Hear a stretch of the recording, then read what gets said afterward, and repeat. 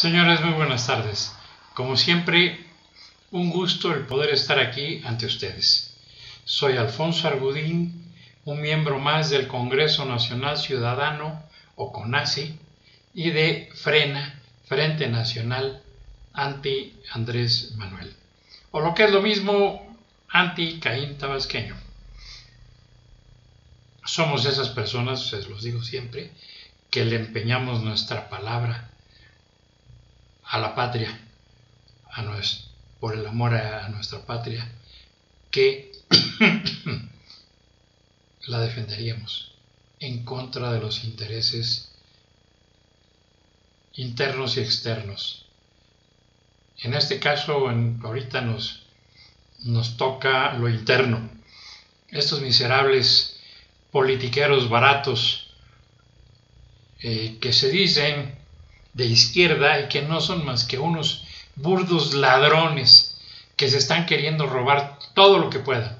Quieren vivir como vive la familia de Fidel Castro y de Raúl Castro, la de Hugo Chávez, la de Nicolás Maduro, la de Evo Morales, eh, la de Lula, la de, en fin, todos esos, los Kirchner, hombre, este, pues che, que vos sabés que yo me llevé el dinero en el corralito.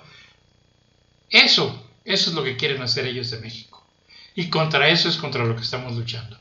Hay muchos intereses creados. Yo no sé por qué no se quieren dar cuenta. Nadie, bien dice el refrán, nadie escarmienta en cabeza ajena. La iglesia no quiso verlo. La iglesia, los ensotanados, eh, de la Iglesia Católica que pudieron haber hecho algo, que pueden todavía hacer algo, en lugar de estar predicando en las redes sociales, en las redes sociales no tienen que predicar, señores. Hay que predicar con la gente del pueblo. A los que hay que despertar es a la gente del pueblo, no a los de las redes sociales. Los que estamos en las redes sociales, mal que bien, es clase media alta, media media y media baja. Y los ricos, obviamente, que tienen computadoras, que ya el Caín se las dio a su hijo para que las vendiera, que se ganara otra lana. Digo, pues al fin y al cabo, pues no las compraron ellos, eran del gobierno. Creo que ya se las iban a, ya las iban a regresar. Pero vean hasta dónde por cualquier cosa se dan a conocer los rateros que son. Una mendiga pluma que se robó. Digo, hasta dónde llega la ratería del Caín tabasqueño. Le dan una pluma para que firme en Washington el acta donde le estaba boleando y lamiendo los zapatos al presidente de los Estados Unidos de Norteamérica y se roba la pluma. Digo, Trump lo vio y lo que hizo fue darle la pluma que él traía para que se llevara las dos. Digo, más humillación.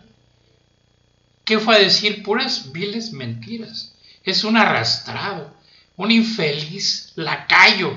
Ah, eso sí, aquí, no, yo soy muy macho. Y le voy a decir a Trump, y le voy a decir todo lo que se merece. Y tweet por tweet, y eh, agresión contra agresión. ¿Y qué ha hecho? Nada, hacer el ridículo más espantoso. Ah, eso sí, ¿eh? Los, los defensores de oficio por el dinero que él les paga de las empresas televisoras, hablan que, no hombre, qué bárbaro, qué arrastrada le dio el Caín tabasqueño a Donald Trump. Lo dejó tendido, lo hizo cera y pabilo. No sé en dónde vieron eso, porque lo que todos vimos fue al revés. Llegó y ni lo saludó de entrada.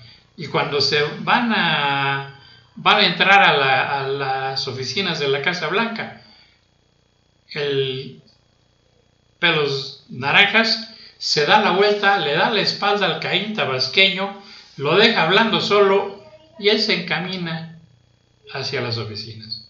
Y ahí ve el otro como un perro faldero, ni el chihuahueño lo hubiera hecho mejor. Ahí va el idiota a ver qué quería el gringuito. Para que vean. todas las mentiras que lo obligó a decir, que nunca nos ha agredido. Ha sido el presidente gringo que más ha agredido a los mexicanos. Un día antes se fue a tomar la foto en el muro que está construyendo. Y al día siguiente de la visita del lacayo, cuando lo fue a visitar su lacayo, Juan Trump, dice él, él es Juan Trump, eh, uno es Donald Trump y el otro es Juan Trump. Ya que se fue Juan Trump al día siguiente rumbo a, a su país para seguir haciendo la vida de cuadros a sus paisanos, agarró y dijo, ya ven qué bueno que construimos el muro porque así ya no pueden entrar más mexicanos a traernos enfermedades ni droga. Eso es lo que dijo. A ver, ¿cuál triunfo, idiota? No hiciste ni nada, al contrario, te arrodillaste, le lamiste los pies. Eso hiciste. Eres un idiota, un arrastrado, un indigno. Ah, eso sí, aquí con los mexicanos eres muy bravo y todo. No, no, no. Cobarde matoncito, te dijeron. Apenas, apenas. ¿Sí? Eres un imbécil, eso es lo que eres y tus, y tus lacayos, peor tantito. ¿sí?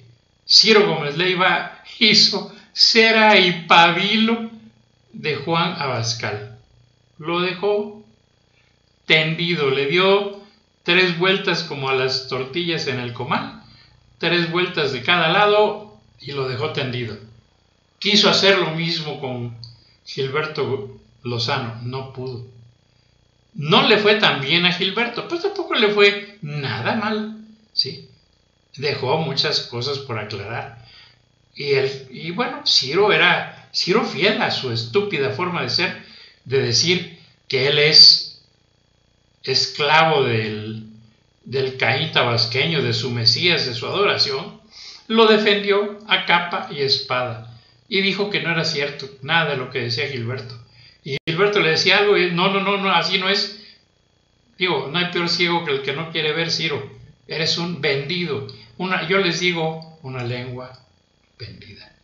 Antes decían, era una, es una pluma, es una pluma vendida, que eran los periodistas que vendían un artículo para que hablar bien o mal de alguna persona. Aquí así eres tú, Ciro. Eres una triste lengua vendida yo no sé por qué estás, bueno, sí sé, sí sé porque eres un lacayo, eso es lo que eres. Y te dicen que hables y hablas. Y te dicen que brinques y brincas. Que eso, así de, así de indigno eres tú. ¿sí? Así es que ese es mi concepto que tengo de ti. Un individuo indigno, sin ningún merecimiento de estar en donde está, que se dice, se dice periodista, un infeliz que se vende. No, no, no, te equivocas. El periodista defiende los puntos de vista. El periodista defiende la verdad. Y tú no tienes vergüenza para vender tus palabras a favor del Caín tabasqueño. Que te digan, que nos digan. claro, te paga la empresa. Tú no vendes, tú bien lo dijiste un día, yo no vendo ningún espacio. Pues no, pero vendes, vendes tu lengua y dices y haces lo que quieras con tu lengua ya sea que te pague la empresa o que te pague el Caín, cualquiera de las dos es malo y es pésimo para el país. Pero pues, ¿qué, ¿qué podemos esperar de un individuo como tú? Nada. Tipo rastrero, de lo peor. Eso es lo que eres. Y eso es lo que son la inmensa mayoría de los disque periodistas. Sí. Entonces, no señores, bien dijo Gilberto, ¿cuándo se ha visto que a un dictador lo corremos con democracia. No, a un dictador se le corre a patadas. A eso es lo que vamos a hacer, a este correrlo a patadas, pero para meterlo a la cárcel. Renuncias a tu cargo, porque además, criminal y, y además de eso, delincuente confeso. ¿Y qué hace la Fiscalía Autónoma? Sí, ¿no? Fiscalía, que es autónoma, la Fiscalía Dice Fiscalía General de la República, bananera, que igual es una, es una fiscalía bananera que hace y baila al son que le toca el caín tabasqueño. hay delitos que se siguen de oficio. Los asesinatos son los de ellos. Y este dejó ir al Chapito, como le dicen, no sé, Ovidio Guzmán, lo dejó ir.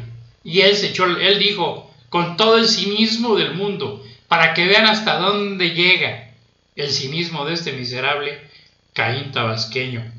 Dijo, yo ordené la liberación del Ovidio Guzmán.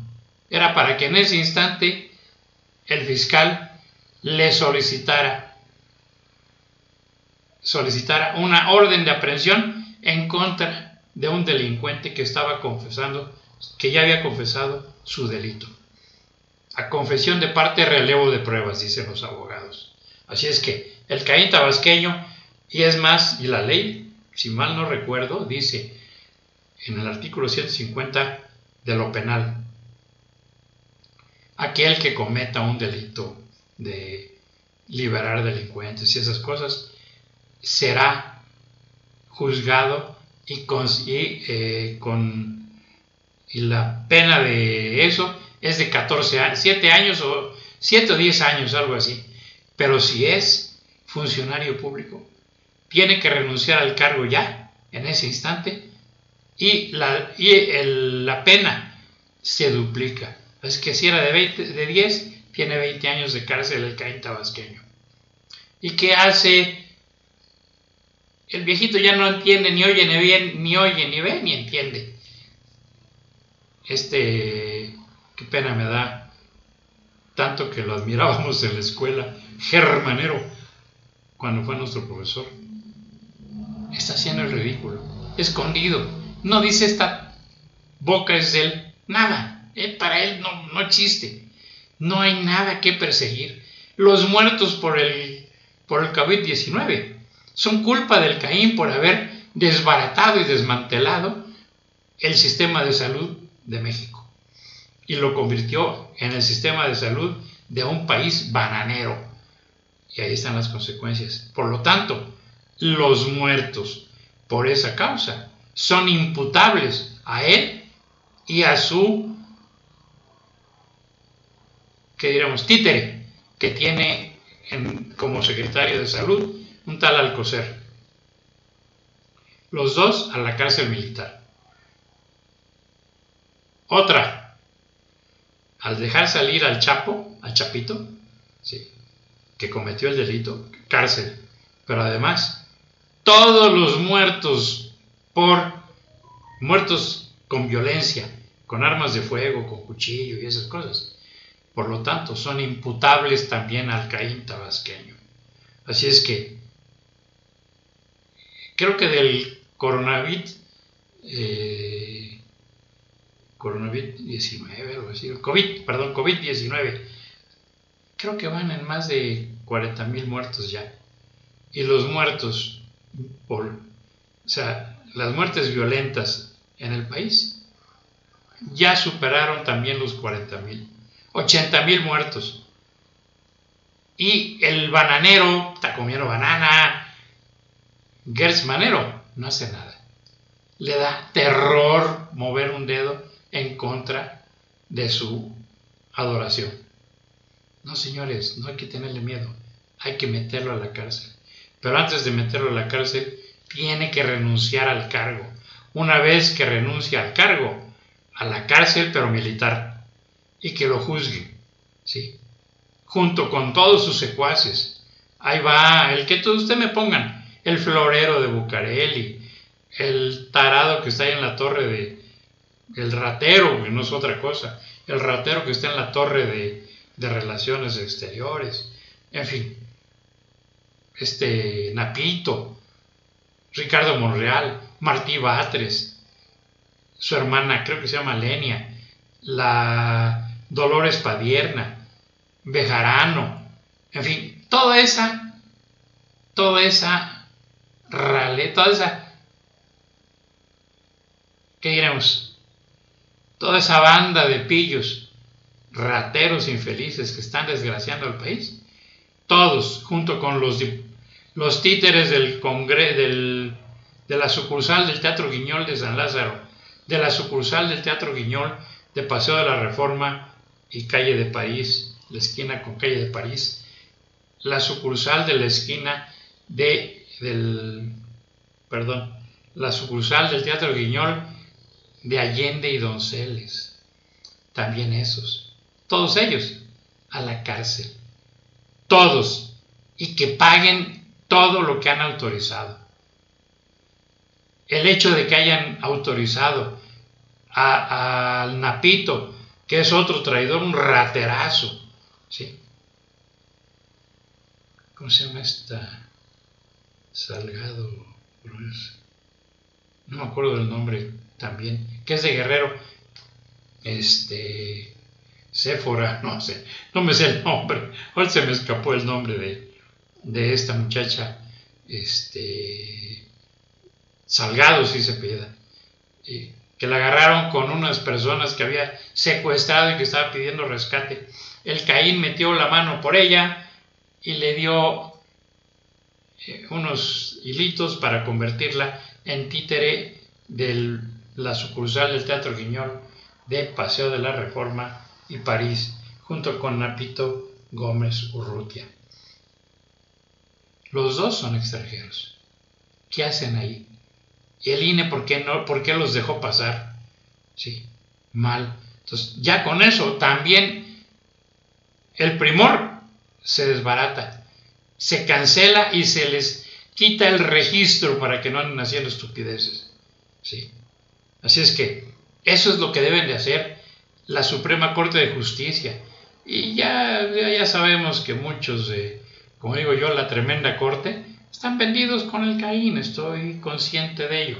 Por lo tanto, difícil. Ahora, ellos mismos se echaron la soga al cuello, diciendo que la ley Bonilla había sido una violación a la Constitución. Yo les pregunto, ¿ya determinaron o ya dictaminaron que la ley Bonilla era eso? Una ofensa a la Constitución y cosas por el estilo. Eso, eso se persigue de oficio también. A la cárcel. Ustedes deberían de haber emitido una orden de aprehensión. ¿Por qué? Porque son la tremenda corte y se hicieron guajes. Ese es un delito grave fuera del cargo. Bonilla, el Caín tabasqueño, por asociación, ¿sí?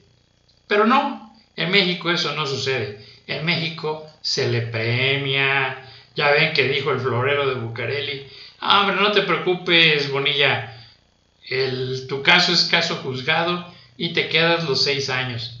¿Seis? Cinco. Lo echaron para atrás, lo dejaron en dos. ¿Sí? Órale, a ver, para que vean que sí estaban coludidos el Caín con Bonilla. Es que, señores, todas esas cosas dan tristeza. Es contra lo que nosotros estamos luchando. El Caín es el peor delincuente que ha estado en México. El, el asesino de Macuspana, le decía yo ayer. O sea, ¿por qué? Mató a un amigo, no amigo porque obviamente al no ser amigo, al, si hubiera sido amigo no le hace lo que le hizo.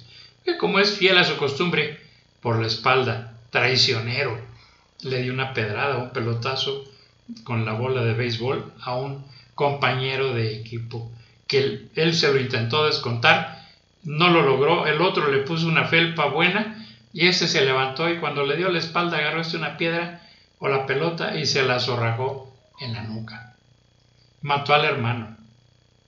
¿Cuántos muertos van con el COVID-19? ¿Cuántos muertos van por muerte violenta, violenta perdón, a balazos y puñaladas y quemados? ¿Cuánto dinero ha dejado robar en gasolinas? ¿Cuánto dinero está dejando ganar? Y eh, pues México paga a las plataformas que extraen petróleo y lo venden afuera de Pemex. Todo eso, lo que su nuera le vendió a Venezuela de gasolina y que el dinero de la venta se lo quedó ella. ¿sí? Así es que esa es otra que tiene que ir a la cárcel junto con el hijito y los otros tribago.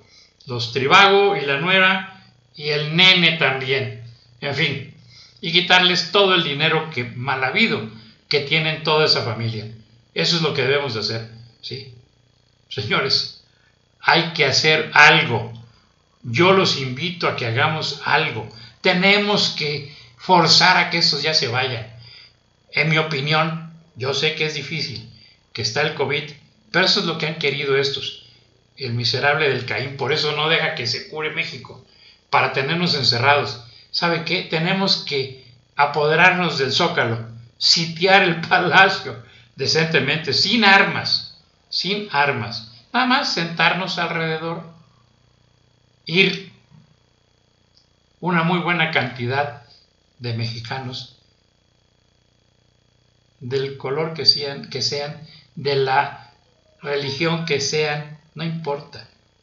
El chiste es encerrar a los del a los que están ahí en Palacio Nacional y que no puedan salir, que nadie pueda entrar, hasta que el Caín se entregue. Y que las empresas de los negociantes, de los comerciantes, de, las, de los contratos de, con el gobierno, dejen de pagar impuestos. Y cerrarle todo, todo a este miserable ladrón, asesino y corrupto. Yo sé que Dios nos cuida. Yo sé que Dios nos protege. Yo le pido que nos siga protegiendo. Y que la Virgen, que la morenita del Tepeyac también nos ponga el manto protector porque mucho lo necesitamos. Señores, piensen en lo que les estoy diciendo. Conmigo cuentan. Sí. Soy, estoy a la mitad de la adolescencia de la tercera edad. Así es que no soy un nene, pero no me importa por mi país hacer lo que acabo de decir. Yo soy de los que iría a ese asunto de ir al Zócalo y de cerrar Palacio Nacional y que no pueda entrar ni salir el miserable del Caín tabasqueño hasta que entregue su renuncia y meterlo a la cárcel militar para que sea juzgado por traición a la patria, por asesinatos, por defraudar al público, por muchas cosas. ¿Sí? Señores, que tengan ustedes una excelente noche. Yo también la voy a tener. ¿Por qué no? ¿Eh? Nos vemos el día de mañana. Que descansen y que Dios nos acompañe a todos.